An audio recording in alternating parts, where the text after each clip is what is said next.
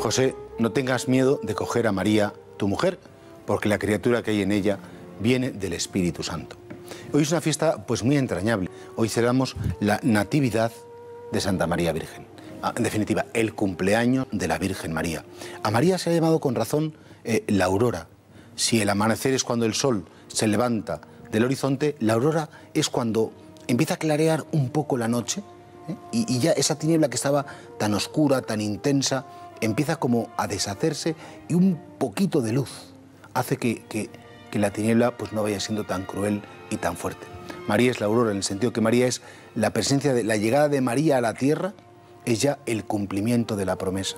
Cuando en el Génesis vemos cómo la serpiente engaña, ¿no? el demonio en definitiva, engaña a la primera pareja humana y entonces hace esa promesa diciendo que, un descendiente de la mujer pisará la cabeza de la serpiente cuando le quiera morder. Bueno, pues ese descendiente que es Jesús, uno, del linaje de la mujer, ¿eh? aplastará la cabeza, pues eso comienza a cumplirse en María.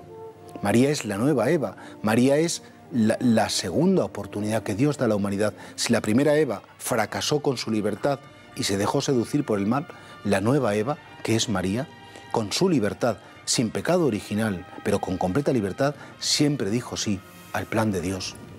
Ella siempre estuvo dispuesta a hacer la voluntad divina y por más que recibiera tentaciones, mentiras, ella siempre estuvo disponible a la voluntad divina disponible al plan de salvación sobre los hombres. Por eso todos los cristianos estamos en deuda con María, todos estamos en deuda con ella, todos estamos agradecidísimos y todos honramos y veneramos, por supuesto, a la Virgen Santísima. Claro que sí.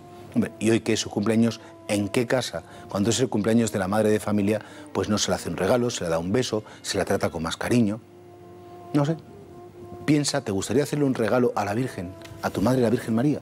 No se trata que la compres a lo mejor, pero sí, pues, pues que le reces un misterio del rosario con más cariño, que hagas una obra de caridad, que esos son los regalos que más le gustan a María, que llames a un familiar que hace mucho tiempo que no hablabas con él porque estás a lo mejor un poco más frío, que reces un poco más por esas personas que a lo mejor lo están pasando peor.